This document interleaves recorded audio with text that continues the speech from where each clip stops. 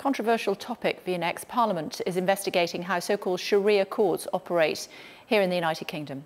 Home Affairs Select Committee is hearing evidence on whether they need tighter regulation. What do you think? One report estimated that there are at least here we go, 85 Sharia bodies in the UK, but the UK Board of Sharia Council said the true extent unknown. The UK's official body has around 15 members affiliated, but could not force others, we're told, to join. More than 100 Muslim women have complained about the parliamentary inquiry itself, saying they're being treated as political footballs.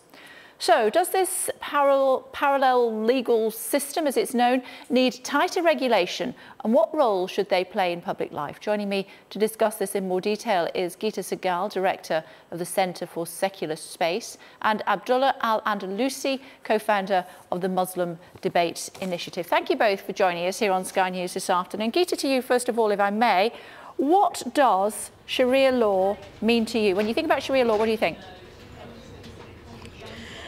Um, well, Sharia law means many, many things, in fact, but the forms of Sharia law that we find being operated in Britain by uh, these uh, Sharia councils is, in fact, a very discriminatory form of law. And it's among the worst um, uh, forms of Sharia that are found anywhere where family law uh, Sharia principles, so-called Sharia principles are used for family law. Um, women are often treated as minors in the courts in need of a guardian. They're treated in very discriminatory ways.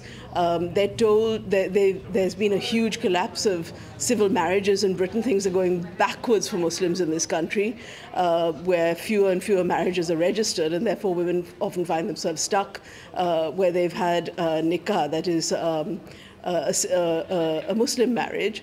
Uh, and there wouldn't be anything wrong with that, except that uh, they don't find their rights protected uh, under British civil law. And even if they've had civil marriages, uh, they're often bullied into having so-called Sharia divorces when they want to divorce, not just a civil divorce, uh, because uh, it's claimed that the, the British civil divorce isn't enough. Okay. In other words, Sharia law is a parallel legal system operating in this country. Okay, let's bring in Abdullah Al-Andalusi. Thank you very much indeed for joining us also, sir. Uh, what does it mean to you, Sharia law? We've heard the suggestions that it's uh, very discriminatory against women. Well, I would strongly disagree with it, it, uh, the, the, claims that Sharia law discriminates against women.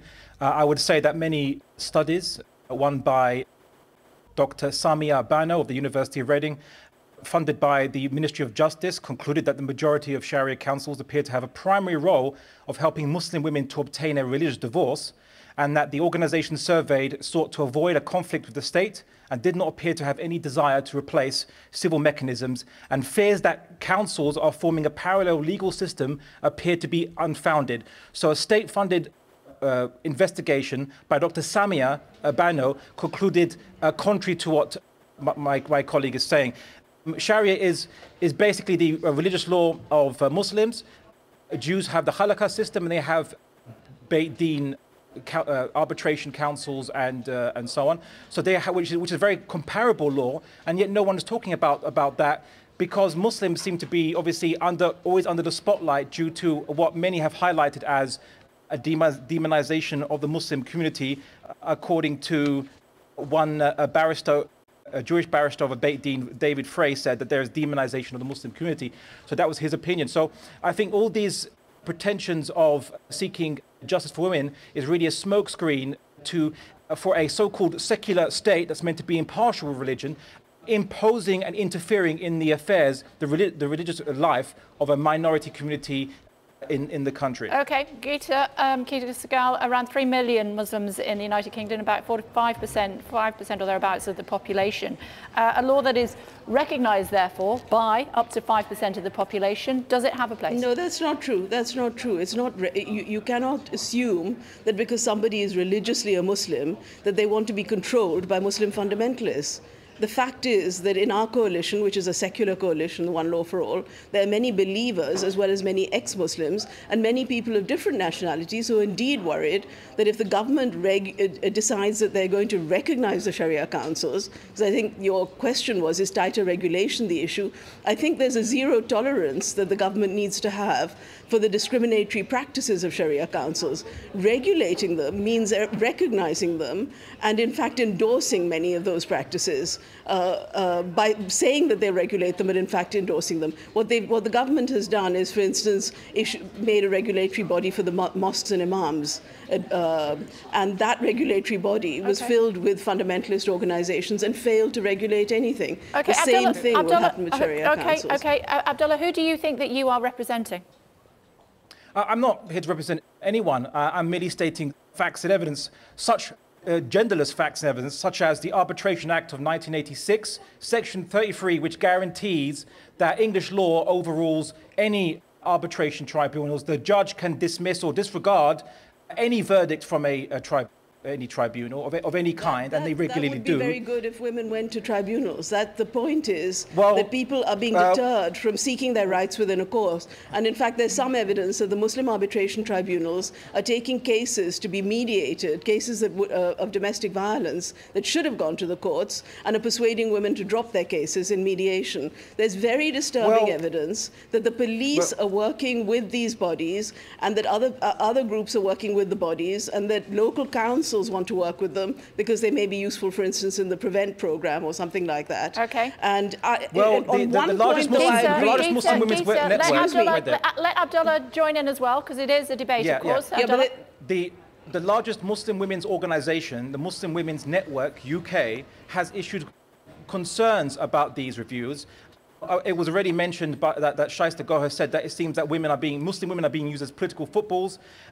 The, uh, she also added that any, that basically it seems that the shutting down or this, this kind of investigation, the Sharia Council seems to be using women's rights as a guise to further an anti-faith agenda. The so-called zero tolerance policy of that my colleague just mentioned is in reality a secular intolerance against people's religious rights. The English Can I- courts are can I- available for everyone to seek a recourse. Wait one second, please. Let me finish. Uh, English courts are open to anyone to seek their rights and their recourse uh, rights according to English law. Tribunals and councils and not, they're not called Sharia courts, by the way. They have no legal binding effect. There is no police or uh, unofficial police that, that enforces the, the, their, their, uh, in essence, advise, advise. They are merely a facility that the Muslim um, community can use if they so want, if all parties agree to seek arbitration. There are many other types of uh, relationship ad- advice organizations which obviously no one has a problem with, like Okay. uh, relate, Okay, uh, okay, relate okay. Let me and just um, let me, let Yeah, me we get your point. a Gita, go you. Yeah. So, uh. Mr. Al- Al- Andalusi has made a perfect example of the way in which people running the Sharia councils are rebranding themselves, and they're now saying that they, you know, this is all consensual, and uh, what they're giving is just advice. What they actually do, and Elham Manea, who's done a much more recent, much more thorough, and much better study than Samia Bano, uh, has said that the Sharia councils are in effect operating a parallel legal system and operating a very, very discriminatory version of Sharia law, which is one of the most one of the most discriminatory forms of Sharia law operating anywhere in the world. Okay. Um, and she's done a comparative legal study of that. Now, you know, one thing I do agree with uh, uh, Mr. Andalusi about is that we, as a coalition, called for the government to actually investigate all forms of parallel legal systems. We didn't want a simple inquiry only into Sharia law. There is a specific problem because I don't know any other religion that has such an extensive form of councils which are known to give um, very discriminatory advice and to actually harm Muslim women. We have examples of Muslim women being put at risk whose uh, addresses, for instance, had been concealed uh, in the civil courts because they had um, were at risk of domestic violence from their husbands, and Okay. they have been put at risk by Sharia councils, in fact, subjected to rape. Okay. Abdullah, I'm interested to know how you can compare, relate um, to, you know, uh, Sharia law with you know, uh, some medieval punishments uh, at its most extreme with, you know, amputation of limbs, death by stoning, etc. How on earth can you compare it to relate?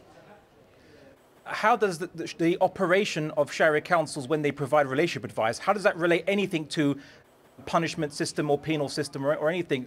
They're completely unconnected, and it's it's it's uh, ridiculous so you are, you, to you're pe- you're, uh, mention you're those things because the Sharia, Sharia councils, law. the Sharia no, no, the Sharia councils aren't implementing any penal system. They're not implementing a law. Should They're they not be a, a court to? system. Sorry? Should they be allowed to? Should be, they be allowed to law? That they're not. The law of the land is the uh, is the law of England and Wales. That is the operating law of the land. The courts, the English courts can overrule any tribunal decision on any matter.